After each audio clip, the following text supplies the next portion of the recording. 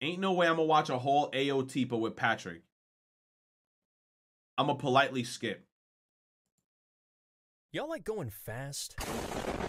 Yeah. 13 minutes? Me too. So anyone with a frontal lobe can tell you that Sonic is no stranger to the old jaunt. A run around the block, a skip, and a he goes fast, it's kind of his thing, but as any seasoned player will tell you, it was never just about that. In both the classics and early 3D titles, speed was treated more like a gimmick that you may see in the occasional loop-de-loop, -loop, but generally you would take I gotta things see, at your own pace. If this video takes my attention, I'm gonna give it a minute. If it doesn't take my attention, I'll dip. I'll give it like a minute and a half to two minutes. It could be fast, sure, but it was never constant. Enter 2006, the cutting edge new tech is here, it's time to kick things up a notch for the next generation, just as the Dreamcast and Genesis had done. Sonic the Hedgehog 2006 goes back to the established Adventure 1 formula for most of its runtime, but near the end of its first stage, Wave Ocean, you're hit with this not the loading screen. I mean, you are, but this. What the community has since dubbed as Mach speed sections, even though the manual calls them super speed levels. I guess that wasn't cool enough to catch on. Breakneck speed, the music doubles in tempo, no way of slowing down, it's just you, the road, and your ability to move out of the way in time.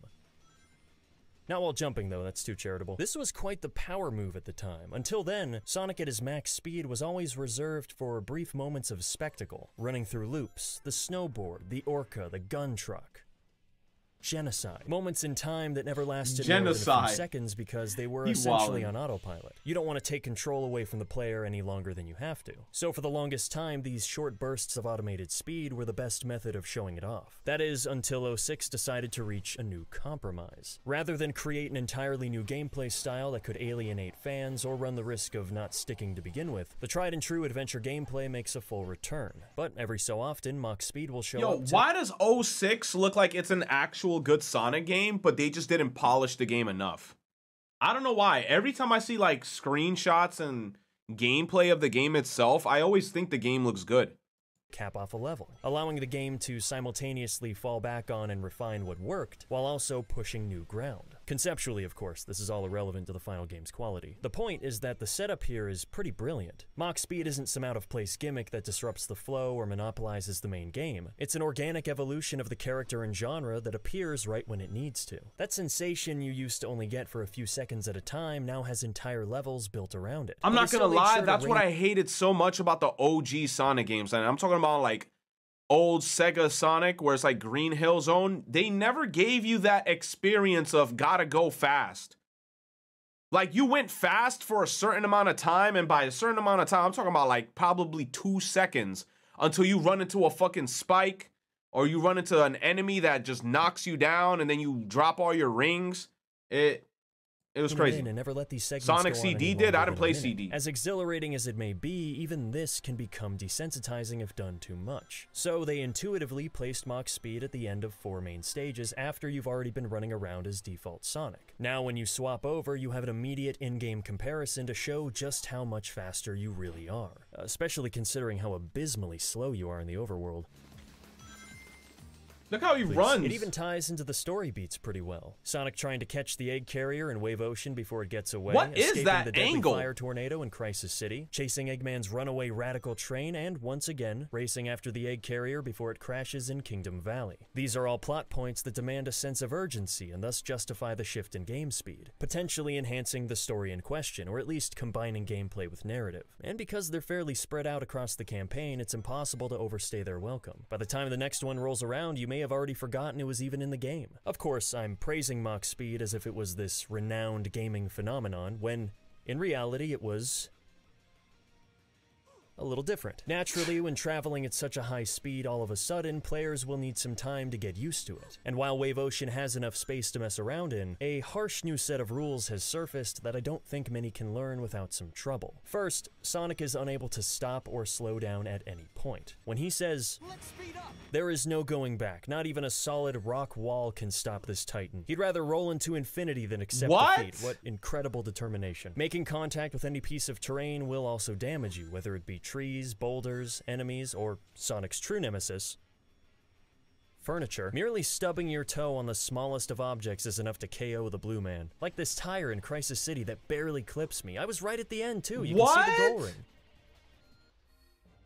Wait, I won? The biggest hurdle without question, though, is the inability to move in midair. If you jump at the wrong time in any direction that isn't straight ahead, it's nearly a guaranteed wow. death. You can light dash to help stay on course instead of jumping, which I do believe is the key to success, but when jumps become mandatory, it won't always be there to bail you out. Only by taking damage are you able to regain control, but if you have the foresight to plan that out, then you probably have the foresight to not jump at the wrong time. This is single-handedly responsible for the majority of deaths. Not necessarily because it's hard, but it's jarring to go from gameplay that's generally what is that angle like?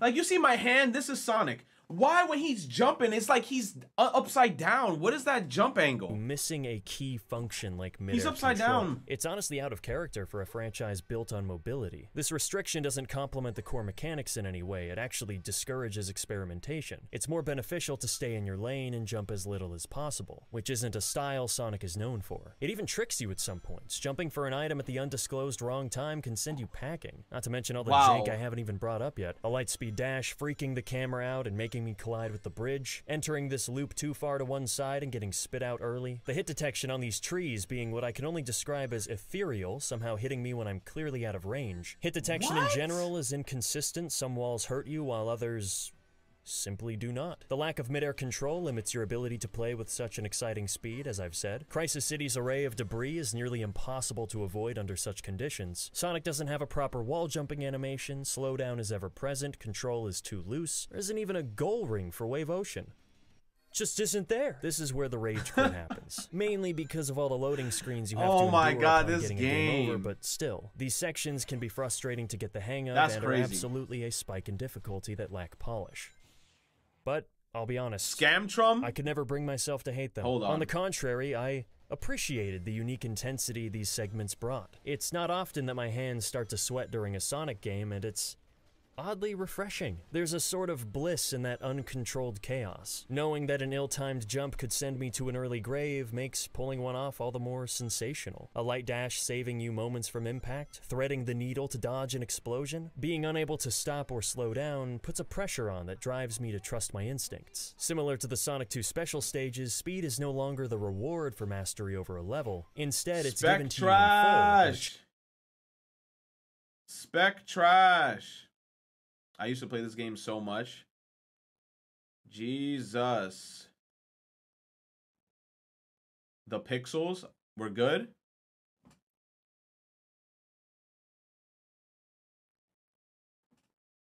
The Spectrum Dookie.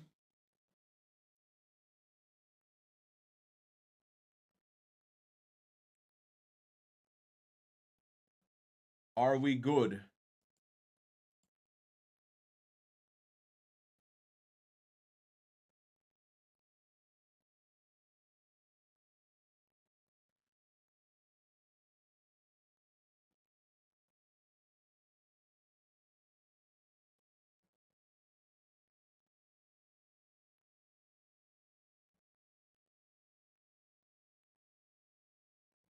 We good. We good. Nice. Challenge is all about controlling it to stay alive. You may feel out of control in places, but learning to tame that uncertainty is its own reward. When victory isn't assured, Achieving it becomes all the sweeter. The quality of the execution may be in question, but you can't deny that these sections demanded your full attention. Regardless if you were someone who rage quit at it or you were the guy telling everyone else to get good, they made an unmistakable impact on you that wouldn't be soon forgotten. And deep down, I think that's always been Sonic's goal as a franchise.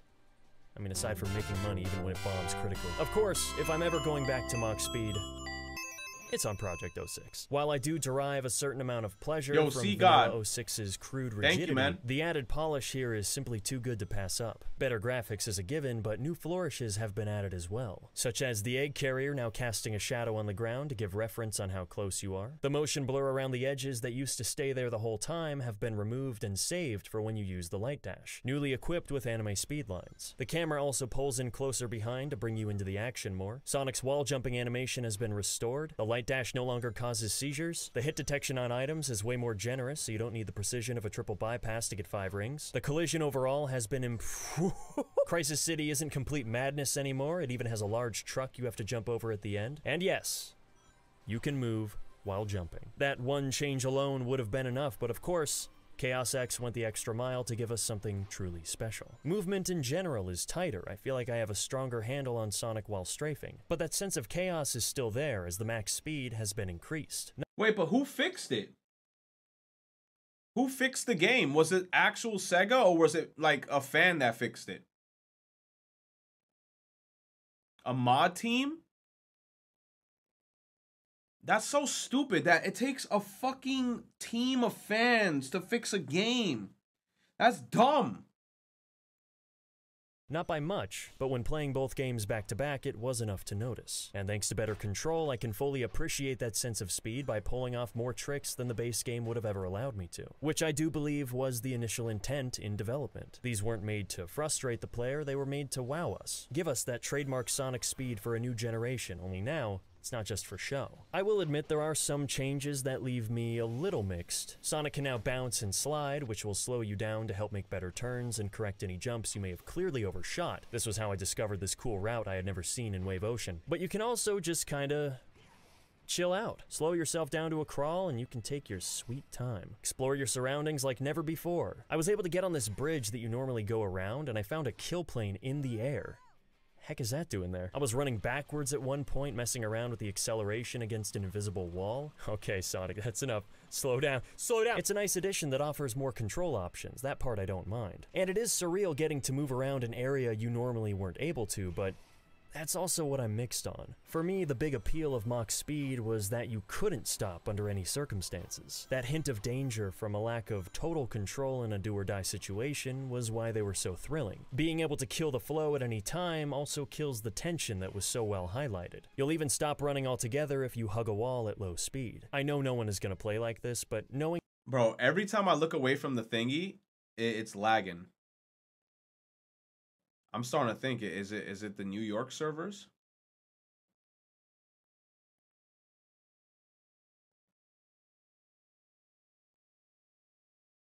We good?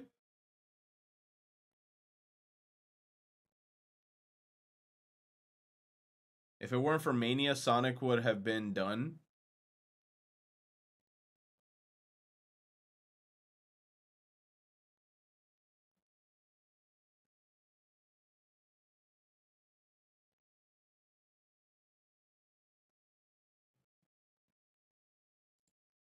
Knowing that it's there does take away some excitement for me. I remember I used to think that there was a time limit for these, like the egg carrier would get away if you didn't keep up and you'd have to try again. Not the case it would seem, if you stall it out, Eggman will stop moving entirely and wait for you to catch up. How considerate. So yeah, the stakes are a bit lower. Same thing with the new bounce back animation. When colliding with large objects like boulders or trees, Sonic will get knocked back and stagger for a moment before taking off again. This prevents you from getting stuck and gives you a second to regain composure, but it's also a bit of a pace breaker. Once again, I felt like the original had this seamless flow where nothing could stop you, and now that's being tinkered with. To be fair, this is good incentive to not take damage, and most objects don't cause it anyway, but I'm not entirely sold on its inclusion yet. Sometimes it can actually actually get in the way, too. If you bonk in Crisis City, it's a guaranteed death. The tornado steals you away before your control comes back, and that's no fun. If I'm already close to the tornado, then I bonk and die, yeah, that's on me. But you could be going full speed and lose it all thanks to a feature that's supposed to help you out. Reducing the recoil and stagger time could be a good I idea. mean, while we're I on mean, the subject at that point, it's basically just get good. Because if you get hit by the shit and it's like it's and you can obviously see it coming just get good at that point of Crisis City, though, man, did this get nerfed. I agree it needed some cleaning up, but I think it was a bit much. Playing it the regular way is still fun and all, but I soon realized that you can beat the whole thing without touching the analog stick. Jump a few times and you're good. The most chaotic level in the game is now a QuickTime event with optional gameplay. I can't even blame anyone for not seeing this because I didn't even try it till now. Should be an easy fix though, just have more debris fly into your path instead of on the sides. You mean that billboard? Yeah, it's not touching me. Radical Train had a similar nerf. I'm not sure where the hitbox is for these explosions, but I could not take damage even when I tried. Am I going so fast that the fire can't touch me? That would actually make realistic sense, but the whole challenge behind this final stretch was about riding the line between the wall and the explosion. But in this current build, not so much. Thankfully, this is also a pretty easy fix. Enlarge the hitbox, Done. I'm not sure how I feel about the hit detection overall. You don't get ghost punched anymore, which is great, but there are instances that feel a little too generous. I mean, look at this. How am I not getting hurt? Uh, sometimes I'll be surprised when Oh, I you take see? damage Yeah, that makes sense. when I don't. Grabbing items is They a lot more completely removed the now since it can hitbox on the trees. precise at such speeds, but I'll look at a freeze frame and I'm like, is this okay? Should I be allowed to get that? I, something's off. I don't know, I'm still undecided on this, but I figured I'd mention it. As a nice compromise, if Chaos X has plans to include the hard and very hard modes of each level, that could be an appropriate time to make Mach Speed more chaotic and demanding. Only time will tell on that. Sonic? Sonic. Oh, he's fine. In conclusion, I think Mach Speed always had a great premise, thrusting the player into a high intensity reaction based challenge that simply lacked the final touches to make it an instant classic. Clearly, this paved the way for the boost gameplay to transpire, but I think Mach Speed's biggest advantage was that they didn't have to create an entire game surrounding it. It could be treated as an arcade style minigame to shake things up and catch players off guard in a good way. And in Project 06, that's exactly how I see it. The finer details have been put into place, and while I have my critiques, we have something truly fantastic on our hands that Yeah, I know Chaos X will somehow find a way to make even better. Cause he's a wizard. Thank you so much for all the support on my last video. I could not have anticipated that. It looks way better now. Bro, give me one second, chat. One second, one second.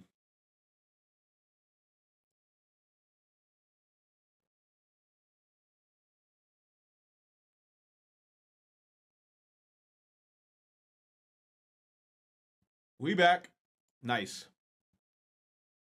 Oh man.